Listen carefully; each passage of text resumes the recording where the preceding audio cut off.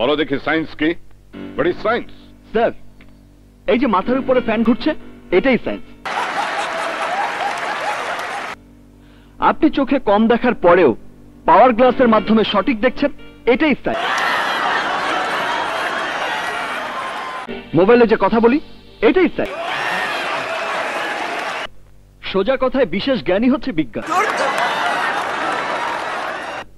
Science এখন DMC DMC মানে ধরো মারো ছাড়ো।